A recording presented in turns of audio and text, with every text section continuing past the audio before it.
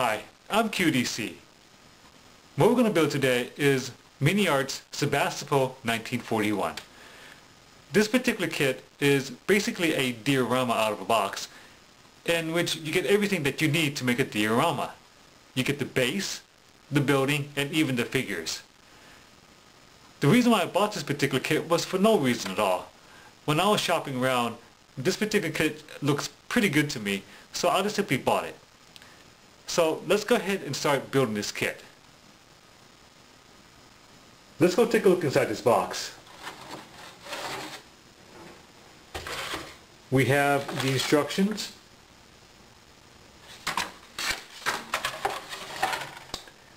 The city street.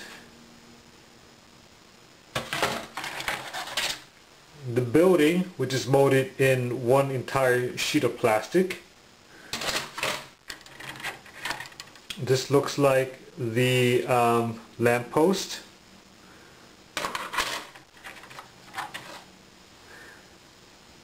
Door, windows, gates, and the figures. Okay, so let's go ahead and start building this kit. Right now I'm holding up the instruction sheet and the instruction sheet is very simple. There's about nine steps here in, in this particular kit and in the, in the other side of the instruction sheet there is a uh, color reference of how to put this, uh, the figures together. And on the very bottom here there are some propaganda posters where you just simply cut out and glue it onto the uh, actual building. So let's go ahead and start um, building this kit now.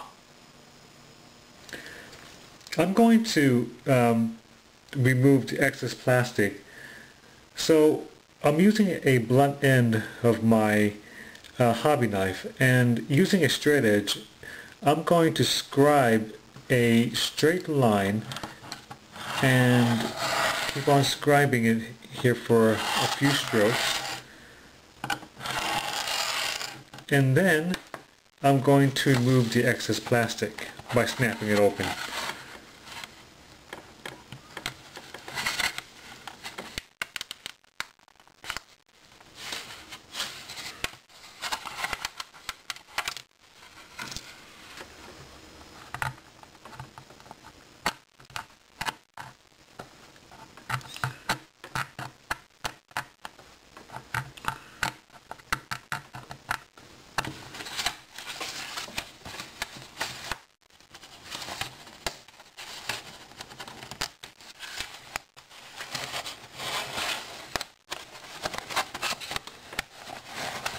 I'm finding that removing uh, these removing the building is actually hard.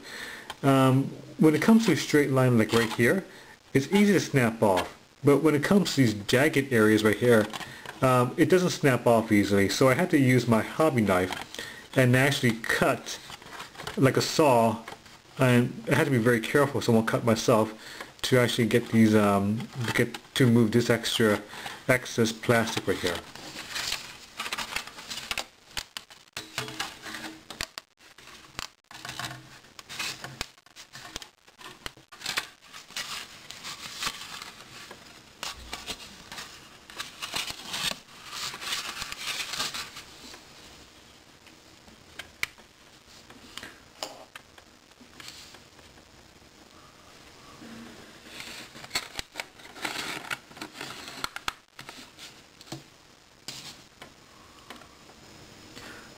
Right now you're looking at um, the section of the building. Now I found out that the name of these um, parts, I think it's called vacuum form, vacuum form parts. And the pet peeve that I have about vacuum form parts is that when you put them together, there is these, there is this huge, huge gaps right here. There's two ways to actually fill the gaps. One is to use um, putty, like, like the ones you would use for uh, aircraft, model aircraft to fill in the seams. Or what I'm going to do is I'm going to use ordinary pre-mixed tile grout. Pre-mixed tile grout is something that's very good for this kit because it has um, a good texture to it. It's very, it's very rough looking and it adds more realism to this kit because it's uh, a ruined building.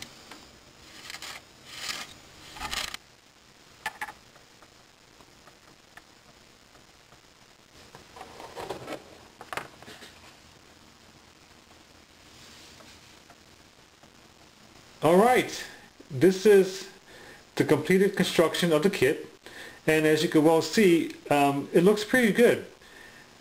I like the building, it looks very well detailed. And although constructing the building itself was pretty hard because of the large seam, using tile grout to actually fill those seams um, did a terrific job. And in fact the rough texture of the tile grout actually enhanced the diorama. I like the lamppost and door, and the ground material looks pretty darn well too. Since the, uh, the construction of the diorama is all finished, let's go ahead and uh, start building the figures now. Right now you're looking at the instruction sheet on assembling the figures. And as you can see, the face, which is C6, you're supposed to glue that onto the torso, C1. And then you're supposed to glue the arm, C5, to C1 to make the figure. Here's the interesting part. You're looking at the sprue and as you can well see there are no numbers. There are no numbers for me to actually glue the figures together. I'm going to have to guess on how to glue the figures right.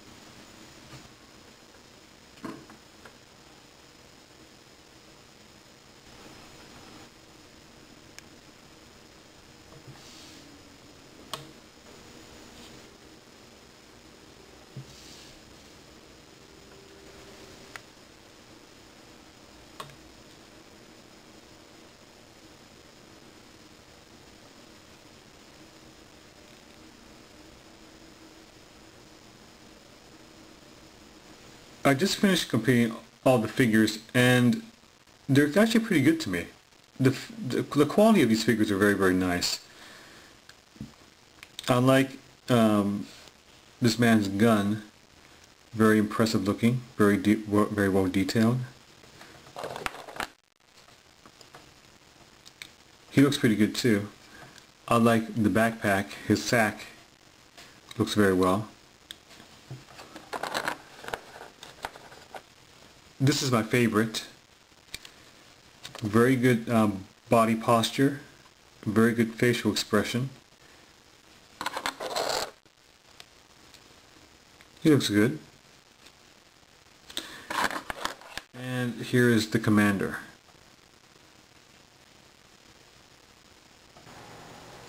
It's time to paint my model kit.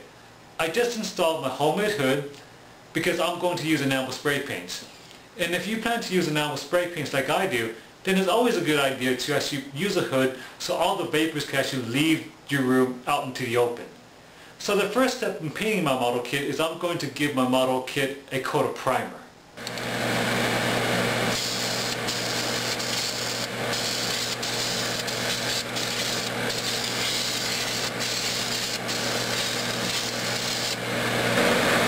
my model shadows, so I'm going to paint my entire model black.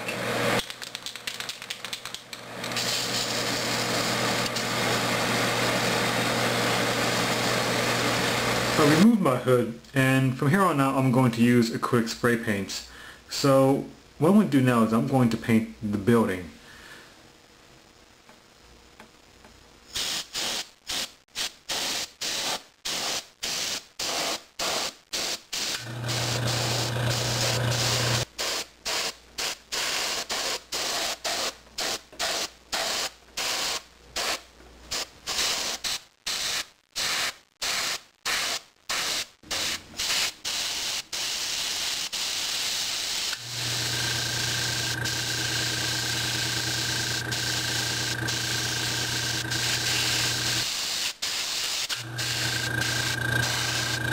I want to give my diorama a grimy appearance and to do that I'm going to give it a wash.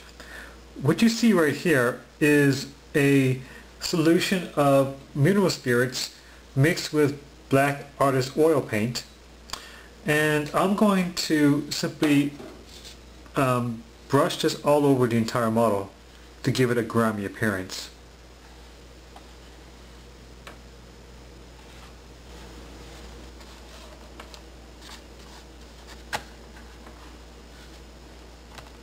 I'm going to do some dry brushing. Dry brushing is basically um, giving highlights to the entire model with a lighter color. What you see right here is a lighter color of the building. I'm going to take a small amount of the material right here, brush off most of the paint, and then very lightly put onto the model to give highlights. This sailor is wearing a two uh, colored uniform. He wears a black pants and a blue jacket. I'm going to paint the black first.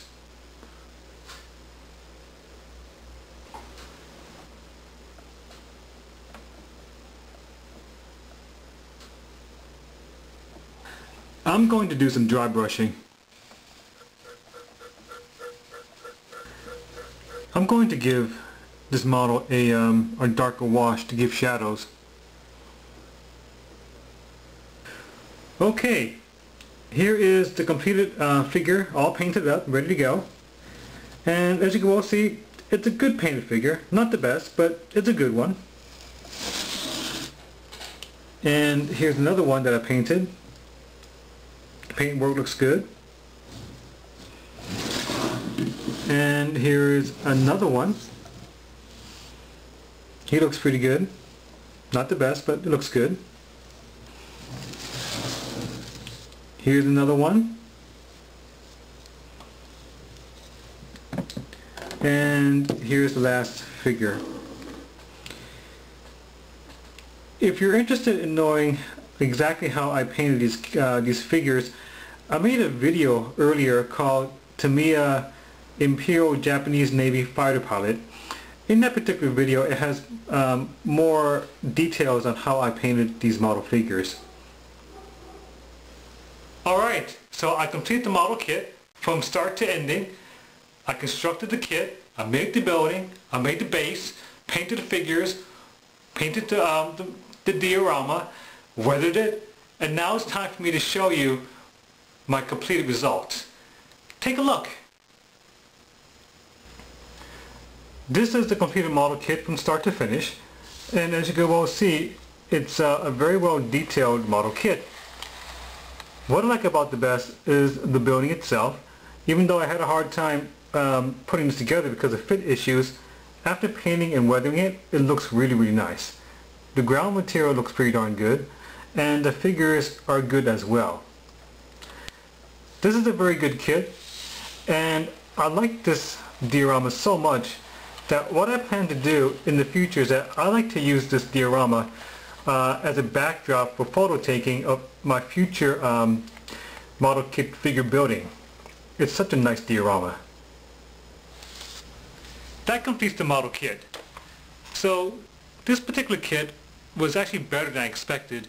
Um, I have to be quite frank with you, I'm not much of a fan of vacuum form uh, model parts it's not very accurate and I got so used to um, having injection molded parts that making this kit was kind of a throwback for me but the end results of making this kit is really really good. I really like the base and uh, the building actually turned out pretty darn good too. And in fact, I think I like this diorama so much that I think I might actually use um, the diorama as a backdrop for future, um, you know, model kits, model kit figures here. So what you're going to see next is a video slideshow of the entire model kit. But before I go, as always, just because I put this video here on YouTube, it doesn't make me a uh, expert at model kit building. I'm not an expert. I'm just a regular guy just like you. Many of these techniques that I learned, uh, that I showed you in this video, I learned on the internet just like you. I hope this video um, encourages you to build a model kit of your own. Either it's a model tank, a model plane, a model figure, a model train, or even an automobile. It doesn't matter. In the end, it's all about having fun. I'm QDC. Thanks for watching and have a great day.